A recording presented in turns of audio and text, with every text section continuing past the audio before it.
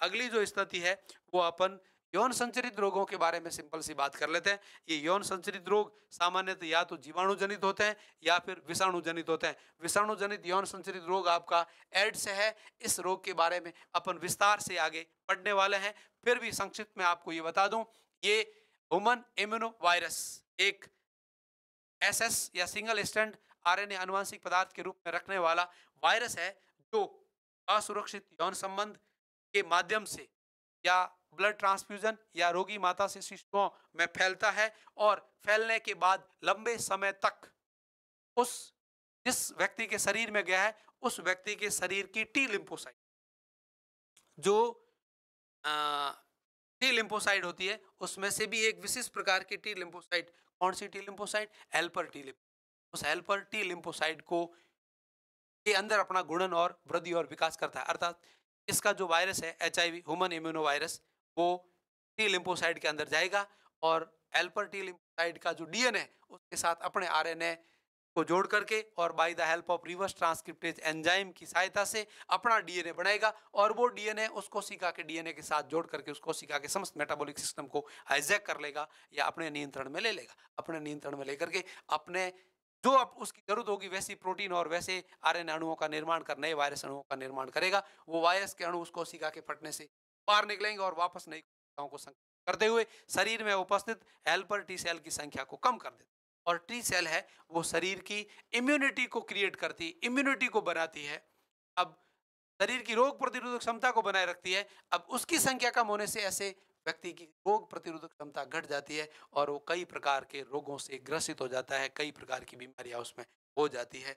अर्थात जब तक रोग के लक्षण नहीं आते हैं, तब तक भी वो पेशेंट अर्थात वो जो रोगी है, वो स्वस्थ व्यक्तियों में असुरक्षित यौन संबंध के माध्यम से इस रोग का संचरण या इस रोग को फैलाते रहता है, जिससे इस रोग की संक्रामक अवस्था अधिक घातक होने से ये रोग अत्यंत खतरनाक रोग है, जिसका आज तक कोई कारगर उपाय खोज नहीं पाए हैं, अर्थात बचाव ही उपचार है उपचार है, रोग हो जाता है तो उसको डेथ वारंट कहते हैं, अर्थात मृत्यु का बुलावा, मृत्यु का बुलावा भी कहते हैं। अब सिफिलिस है, वो जीवाणु जनित रोग है।